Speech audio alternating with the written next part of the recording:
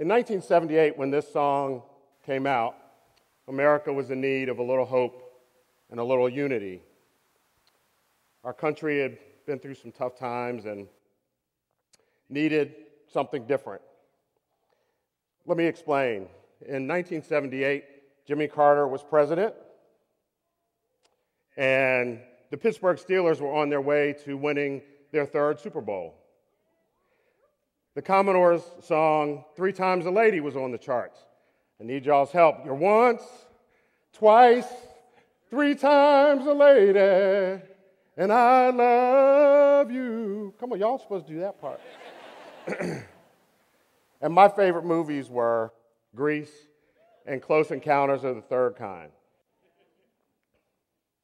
So when One Nation Under a Groove came out, I knew that this song was different. It was a new kind of sound. It was direct and conflicted, yet it was fun and sincere.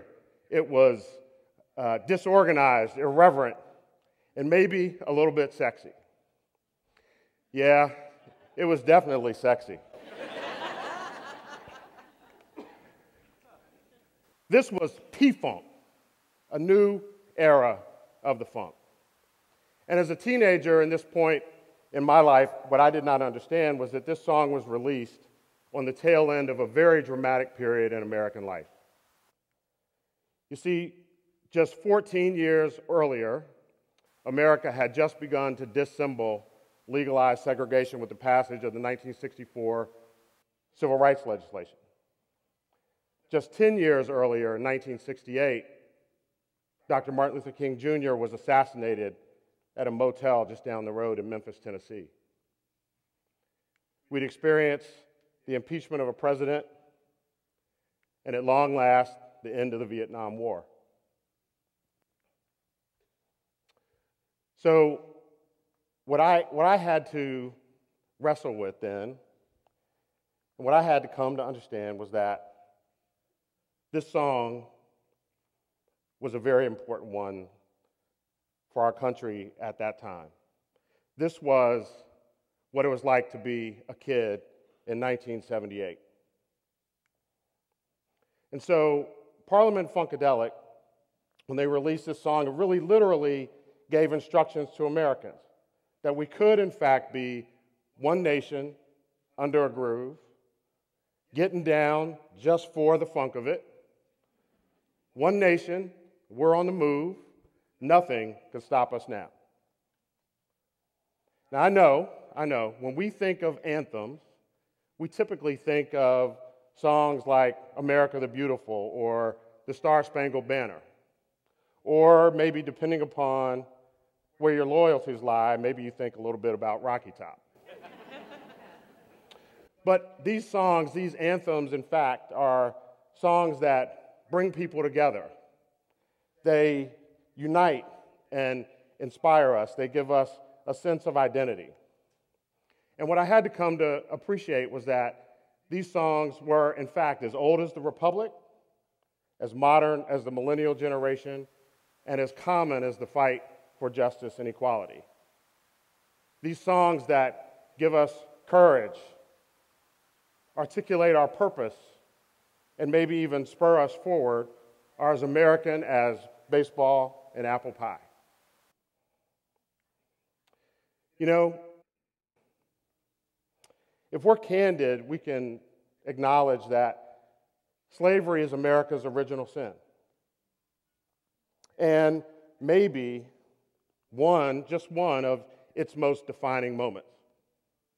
Because slavery was not just about physical bondage, but slavery was about limiting access, limiting access to economic resources and limiting access to political representation, which have palpable effects on economic and education disparities even today.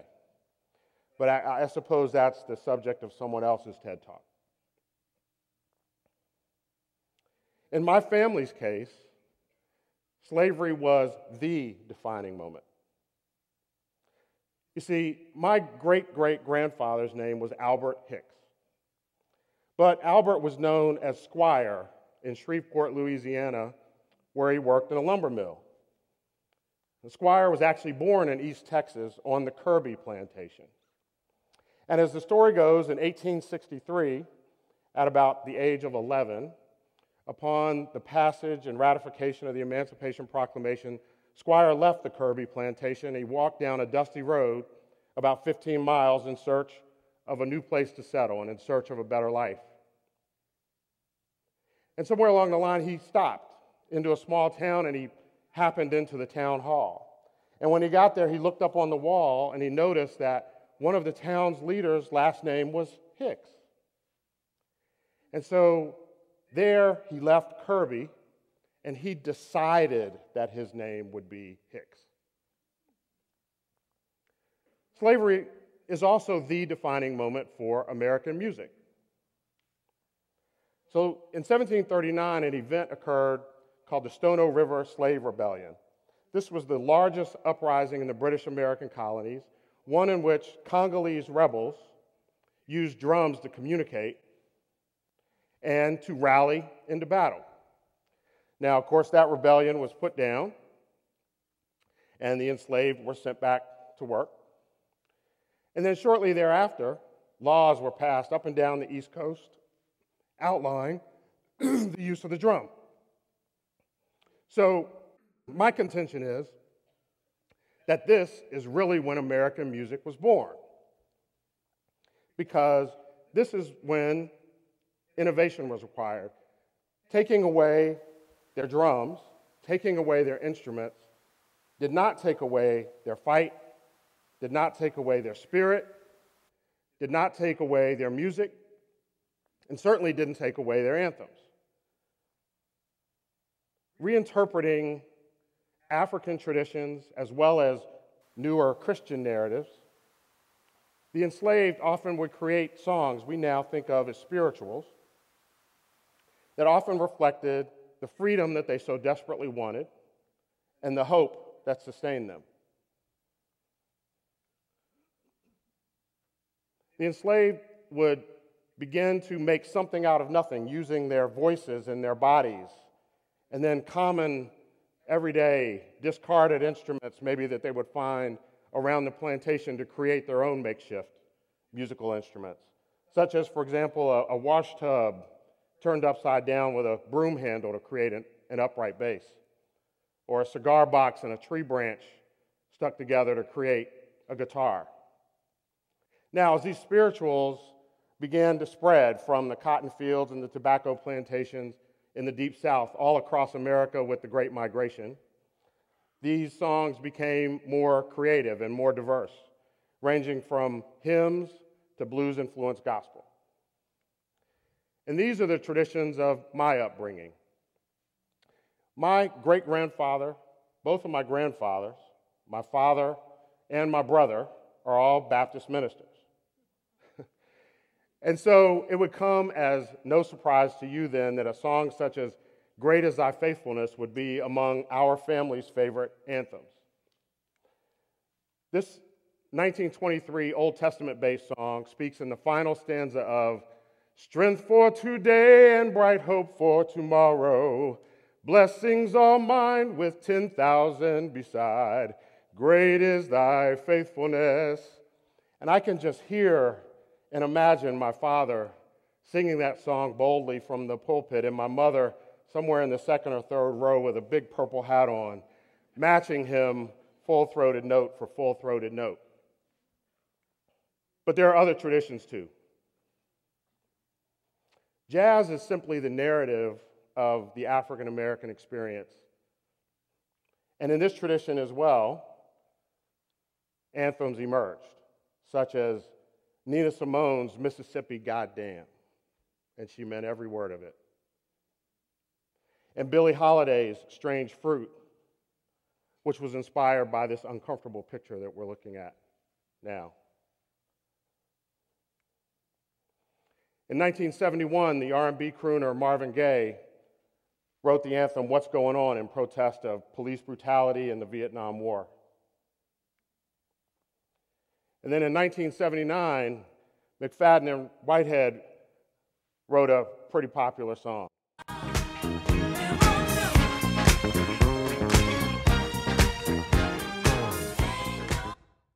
So, Ain't No Stopping Us Now became known as the new Negro National Anthem because it represented uh, the African American experience, and that's why it's often played at family reunions all across the country, just like, like my own. This was about in 1979 when the song came out. In 1981, Michael Jackson and Lionel Richie and Quincy Jones penned the anthem We Are the World, going on to sell more than 20 million copies. This song, of course, was an anthem for African famine relief. And then 1989, the number, another summer, sound of the funky drummer. Public Enemy, one of the most iconic hip hop groups of all time, did a remake of the Isley Brothers song.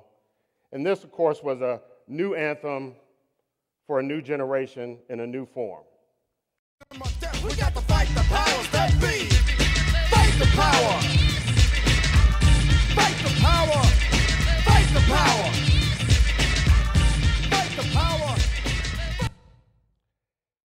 Quite a powerful anthem, if you ask me. And then it wasn't until 1998, when the movie, the comedic movie Rush Hour came out, that this 1970s kid was introduced to the Edwin Starr anthem, the 1969 Edwin Starr anthem. Y'all know this one too. War! Good God, now, what is it good for? That's right, say it again. That's right.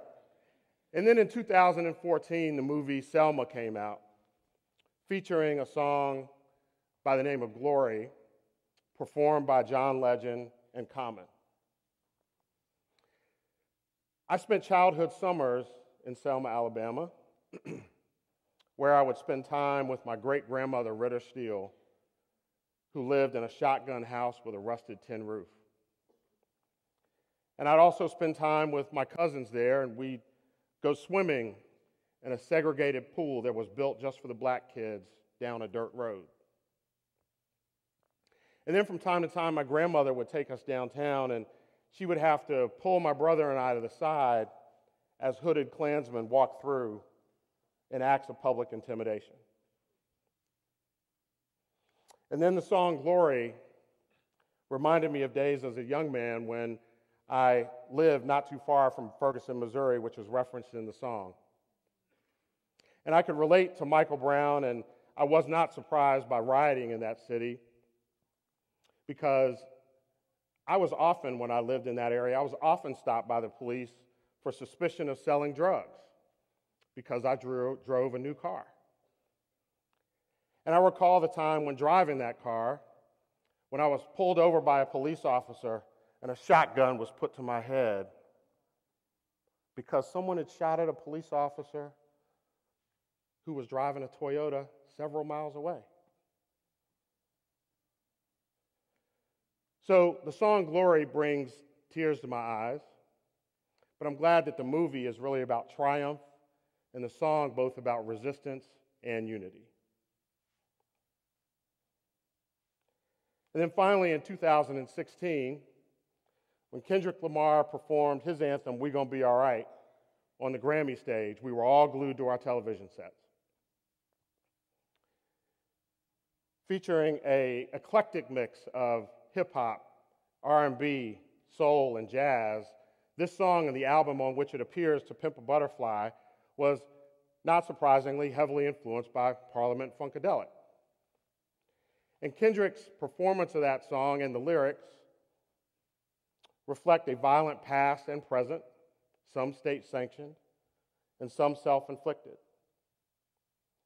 And, you know, just like the kids in the 1970s, kids today have lived through their own set of change and turmoil, challenge.